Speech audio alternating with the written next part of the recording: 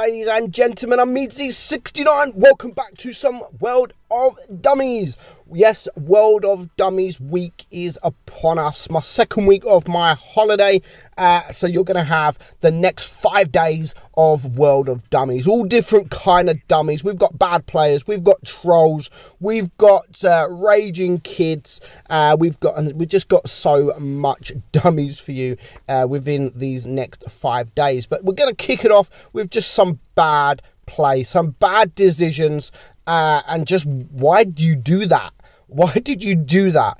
Uh, so we're going to watch the Waffle here. Now, of course, the Waffle is a fantastic tank. It really is a good tank, but it's got no armor. It's got no armor whatsoever, so you shouldn't be able to bounce any shots in this tank. The only time that you can bounce, just like the this and the grill, is when someone shoots HE at you and it hits the top of your gun or it hits the tip of your gun. That's the only time you should really be able to uh, to bounce some shots. Uh, not this game. Not this game. This game, uh, we're going to see some bounces in one of the most OP heavies in tier 10 at the moment, and that is the VK72. Now, the enemy have a very good team. They've got Daniel from Jones in their team, which is a very, very good player. So it's already not a good sign uh, for the green team. They're losing hit points here, uh, and they already uh, they're up against it. So the 50 TP, I mean,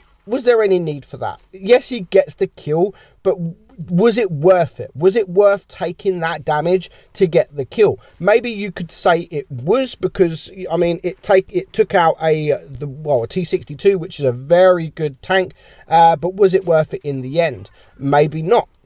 Um, so now it is a six versus fives, a five versus five, uh, and there's still a lot of work to go. And there we go, the T100 kill yourself. There goes the T57, and there is the, that now Daniel. He's in a bit of a sticky situation at the moment. He decided to go forward, and he does unfortunately pay the price. So it's now a three versus four, a three versus four. The 50 TP up there is a one shot. Would he have been a one shot? Probably not if he wouldn't have uh, used that. Uh, you used that hit points that he lost a bit earlier on, and even there, he still didn't manage to get the uh, the shot out. So uh, unfortunately, it's now a th- for the red team at least. It's now a three versus three. But you can see the one two one B there, a one shot. The two six eight there is getting torn apart, uh, but they still have. Um, almost a full hit points or three quarter hit point uh, VK72. So there goes the grill. There goes the grill,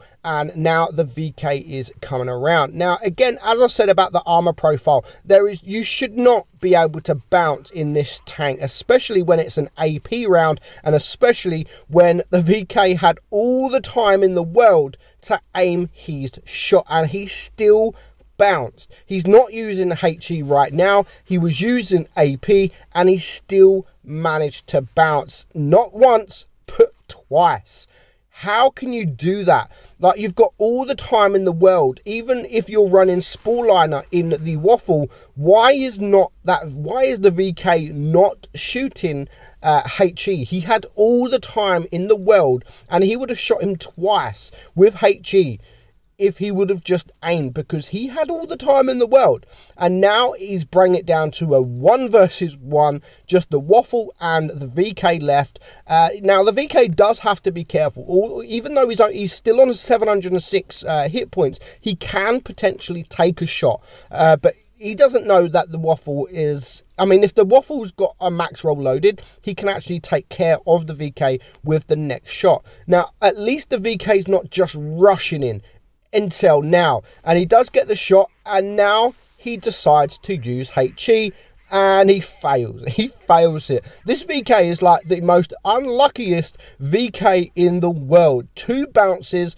and a failed HE shot cost them the game. So well played there from our waffle. Does get lucky, and it should not have happened. Uh, so yeah, unfortunately, but they do. He does get the win, uh, and that was actually a ratings game. And if you look at the VK there, uh, yeah, I mean 2,500 ratings he's got there. Probably shouldn't be uh, playing ratings if I'm honest.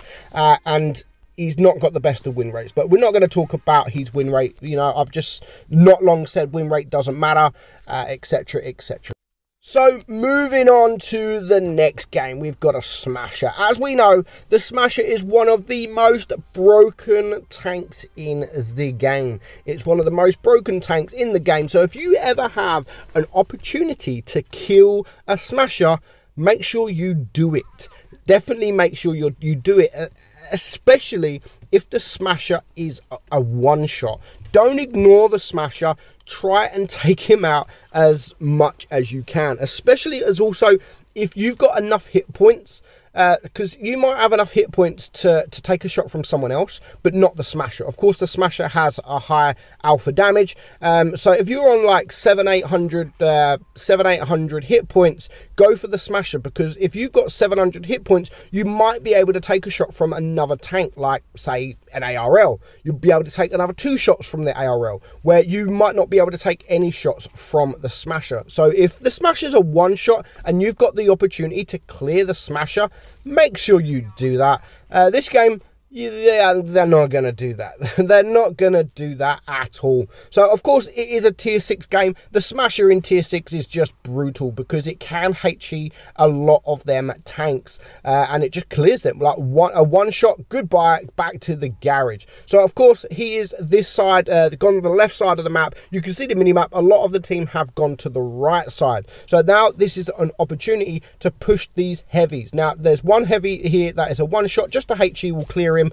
and the M6 is also a one shot. And then it will leave three tanks here against the IS2 Berlin if they are able to clear the M6. Uh, so, of course, the Smasher is looking and he's aiming and hopefully he does clear this M6. The M6 is actually just shot and he has taken a bit of uh, damage. Now that was an unfortunate bounce there on the M6 and, and again when you're shooting AP in the Smasher it isn't the best the penetrations using the AP and you do struggle to penetrate. So you can see here switching to the heat, he does get the shot and does get the kill. So now he can actually turn back and deal with the Berlin if he needs to.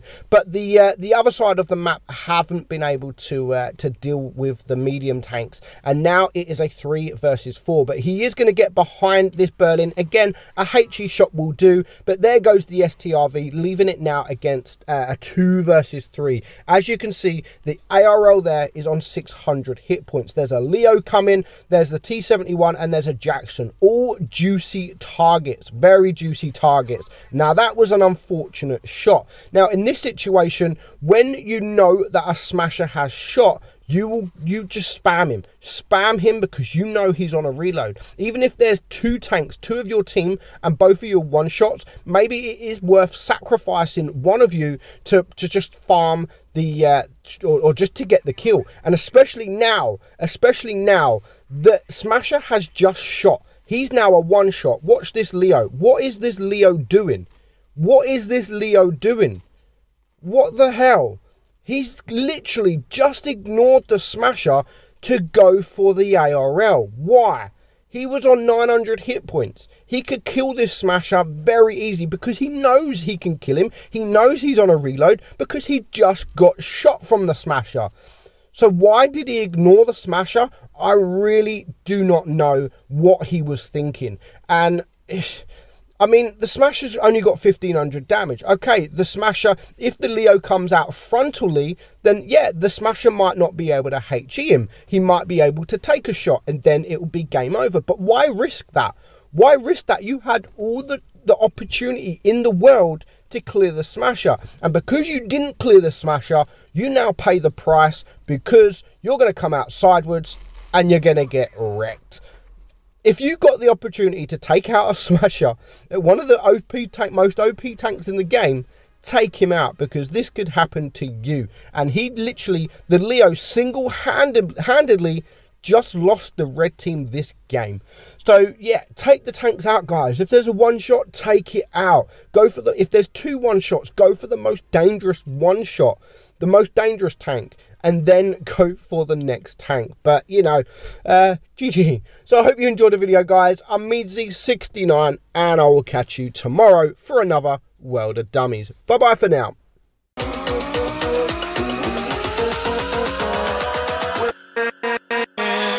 We'll